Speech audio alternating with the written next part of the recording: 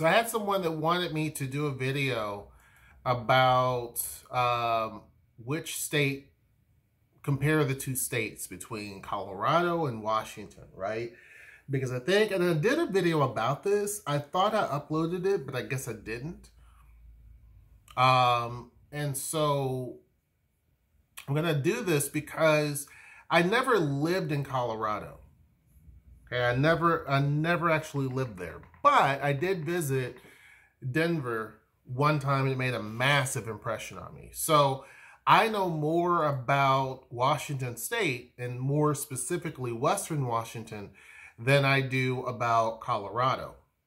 So that's the very first thing. But this person wanted to know which one was a better place overall because I've done that before, talking about different cities, Portland, Tacoma, Seattle, which one's better, et cetera, et cetera, based on my own opinion. and a lot of folks like those videos because it kind of gives them a viewpoint and not just a, a bias, a heavy bias because I'm born there, right? I think a lot of times people who are born in an area may give you more uh, more of a biased view right? Not always, but typically. So to be honest with you, I Colorado wins in many categories.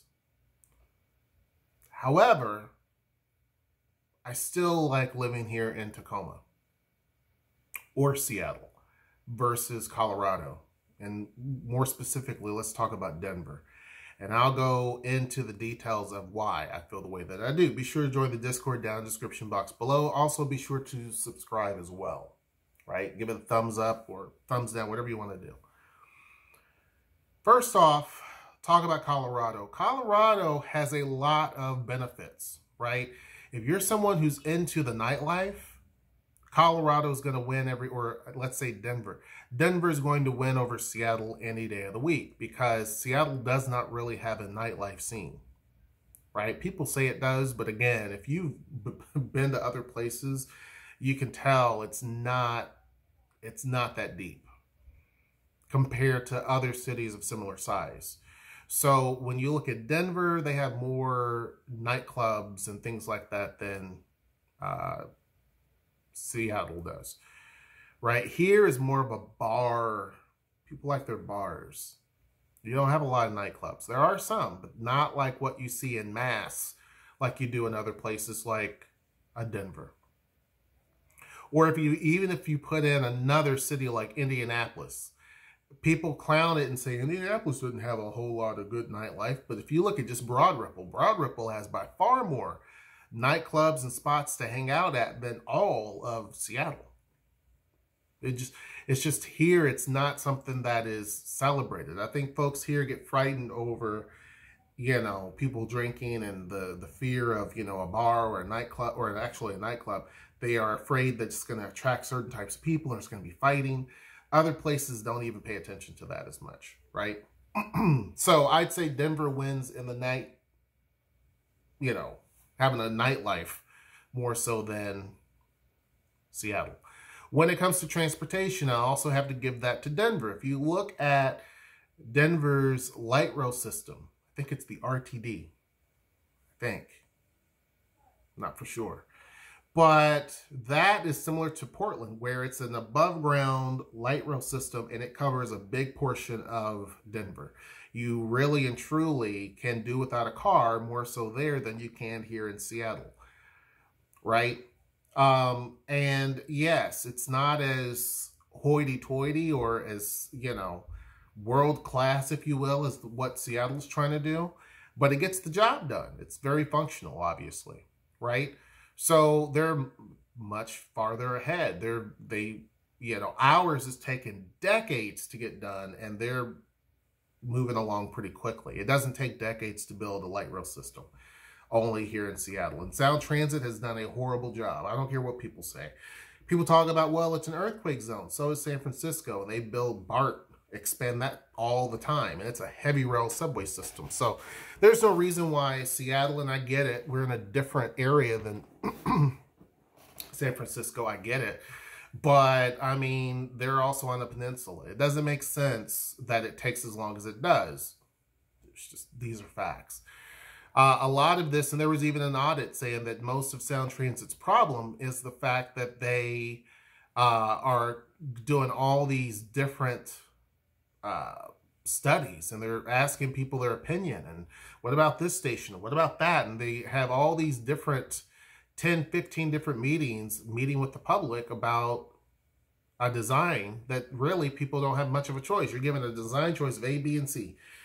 So i mean people may say you know what? Just give us a basic station like what they have in portland or what they have in denver and be done with it versus building these big giant taj mahal type structures. So anyhow, it, it's that type of thing. And then the way that they construct things, it's a very long process. So people are getting tired of waiting for a whole lifetime just to get something basic done. It is basic. Sorry. And, and people say, well, you don't have that type of experience. They have experience in Japan. And they build high speed rail faster. They every place builds it faster than in the US in general even in Europe. And some places have very high standards. It's not like people say, well, we have property rights and we have high standards. And we have this, other places do too. You know, Pierce, Tra- or not Pierce Transit, but Sound Transit could start construction at night, work through the nighttime to get it done. And they were like, it costs a whole lot more money. It's going to cost more money if you delay especially in this area, if you delay it a few years by building in Everett. By the time they get to Everett, they're going to be asking for much more money than they're asking now. It's already money, there's a shortfall. They're going to keep asking for more money. But by the time you finally build up there to Everett, which by far deserves it, it's going to cost much more because building expenses cost more every single year. So it's worth it working throughout the night, working 24 7 on this project so that you can get it done faster than what you're doing now. But I digress. It's not what this video is about. When it comes to the cost of living, it is expensive. I mean, again, once you get over in the mountain states and western states, homes are pricey, but homes are more affordable in Denver than they are in Seattle. So again, if you're looking from affordability standpoint, Denver wins over Seattle. When we're talking about jobs, both are heavyweights, to be honest with you. Um, but this is where Seattle edges out Denver, in my opinion. We have a lot of big, big companies. Boeing, for example, uh, Microsoft, uh, Expedia.com, uh, Big Fish, the gaming company, we have uh, Amazon, Starbucks, Nordstrom, all of their corporate headquarters, and many, many more are here. It's a juggernaut. so at that point, Denver, while it has a great job base, is out of its league when it compares it to Seattle. There's a lot of cities, even when you're looking at Los Angeles, is out of its league when it comes to tech jobs that Seattle has. Which, these are facts. So you're the big leagues. I do have to give it to Seattle. It's big leagues when you're talking about techno, you know, technology jobs. Excuse me. There's a lot of cities that can't hold to it. Cities like San Francisco, San Jose, they can. There's others. New York City, they can, but very few can reach that caliber. So that gives Seattle that extra edge if that's the industry that you are in. When it comes to the overall job market, here is I don't know about the job market necessarily in Denver, so I have to back off of that. I do know about the tech side of things. They have tech, but not like what it is here. Jobs here are very plentiful.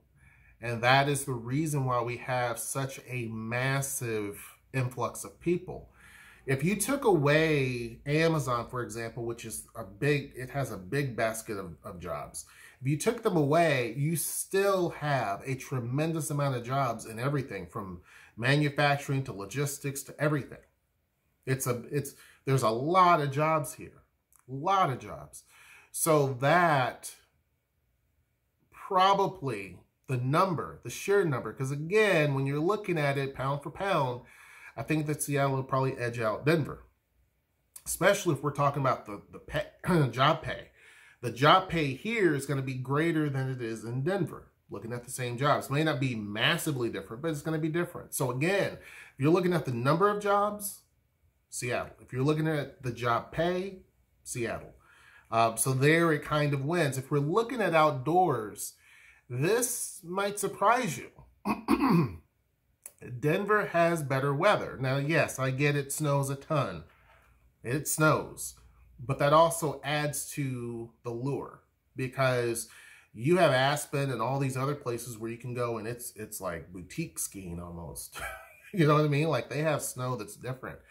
So if you're an outdoorsy type of person, Denver's going to win because you have all types of nature trails and places where you can ski, uh, where you can go to the mountain. The Rocky Mountains are impressive. Yes, we have Mount Rainier. I get it, and you can ski up there, but that's Mount Rainier. the Rockies, you have a whole lot of different places, and there's Vail, there's all these places you can go to.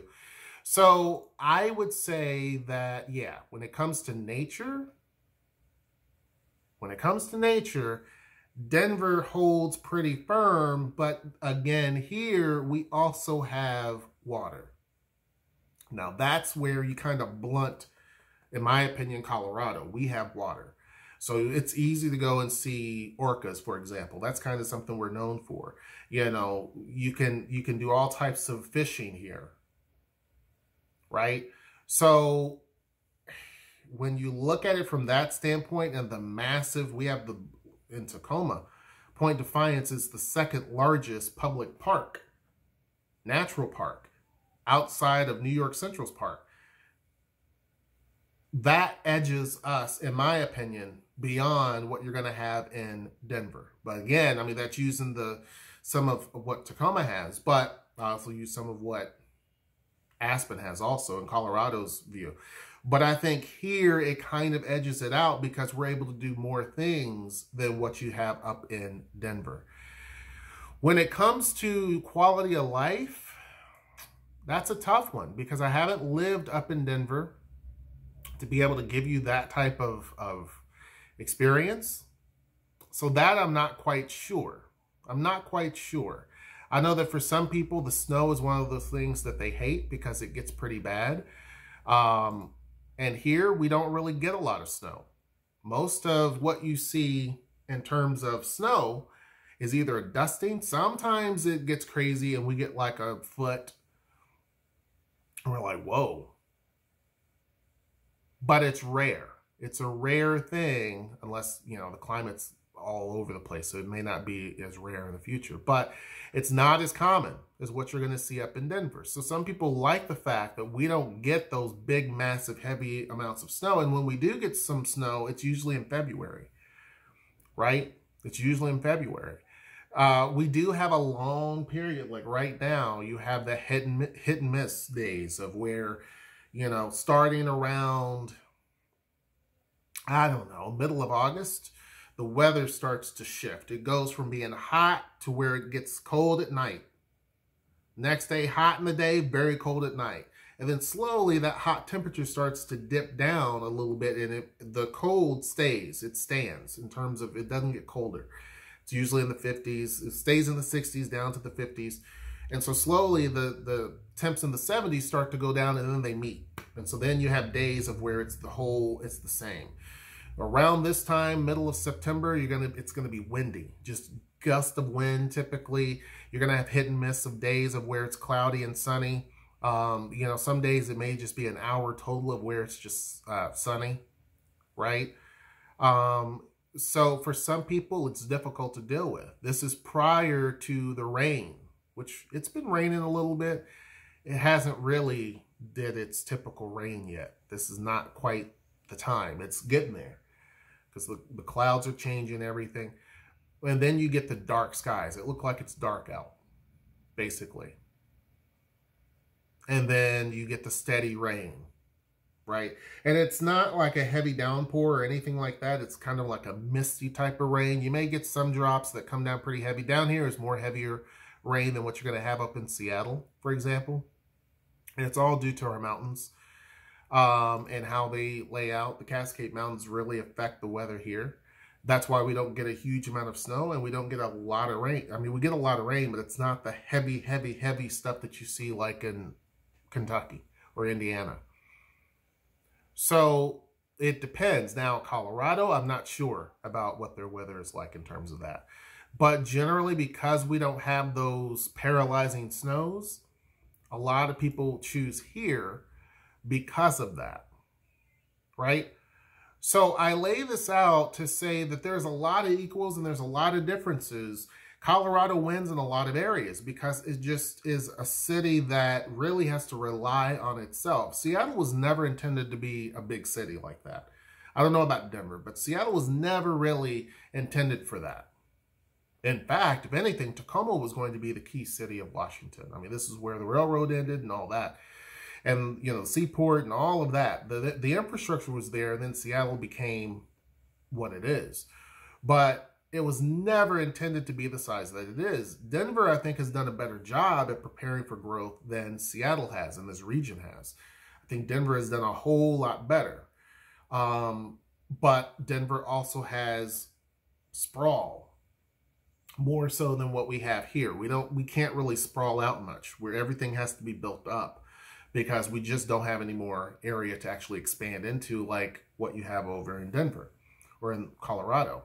So yeah, I mean, it depends. It depends on the type of person that you are. I wouldn't be sad living in either place, to be honest with you. There are other places that are no-go. I wouldn't even consider. Denver, I wouldn't have a problem with. Actually, in fact, we had considered Denver as an option. San Diego was number one for us.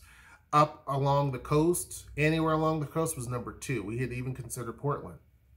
Seattle was the top notch. So was San Diego. They were top notches for us. We knew San Francisco wasn't going to happen. Too expensive, and my ex lives there, so excuse me, didn't want that. And Denver, because we had visited and we loved it. But if it comes down to it, which one would I choose? I would still have to choose Seattle, Tacoma area over Denver. Um, and it's not saying anything bad about Denver. I can't think of it. There's places I can talk about. Denver, I can't. I really can't. I mean, it's a really great place. And now, again, that's from someone who visited. Someone who lives there can probably give a little bit better analysis. But for me, if I'm looking at everything overall, and people will talk about homelessness, well, the homelessness situation. Every place has bad a bad homeless situation. I don't even want to hear it. There, even Olympia has a bad homeless situation. It's a small town, right? so if we're going on that, yeah. I mean, the West is kind of a transient area where you have a lot of that. Albuquerque, New Mexico the first time I ever seen a bunch of people sleeping on the sidewalk was in Albuquerque, New Mexico. I never seen that in Indianapolis, which is by far bigger. Never ever saw that. Denver, you see a lot of homeless people, right? Seattle, you see a lot of that. That's very common. So if people want to go down that rabbit hole, I can point out a lot of places that are like that. I don't I don't consider that as being a, a, a factor of not considering one or the other. They both have those issues.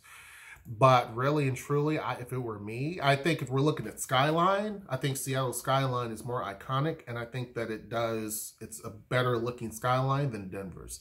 Nothing bad about their skyline. I think that they have a lot of attractive, cool buildings. I'm a skyline type of guy.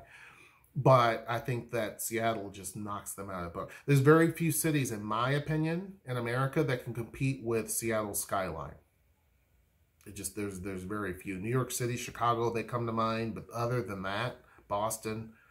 Other than that, it's kind of hit Philadelphia. They do. They have a very unique, beautiful, impressive skyline. But Seattle, to me, I love the skyline, especially nowadays. The way that there's buildings, they're just, it's the most densest. Not counting New York or Chicago, the skyline is so dense here in Seattle, even more so than San Francisco. It's just so darn dense. And that gives it that impression that it's a foreign city. It makes you makes me feel like it's a very, very many, many, many Hong Kong. Hong Kong buildings are just like, I mean, like just all together. It's impressive. And so it's kind of similar here in a very small scale, like when we're looking at Seattle. It's just a very unique skyline. But anyhow, that's my opinion. Folks who have different different opinions, definitely put it down in the description box below. There's some things I'm sure I've missed, obviously. Uh, be sure to join the Discord down in the description box below. Make sure you like, share, subscribe, and comment. And until next time, I will see you. Take care.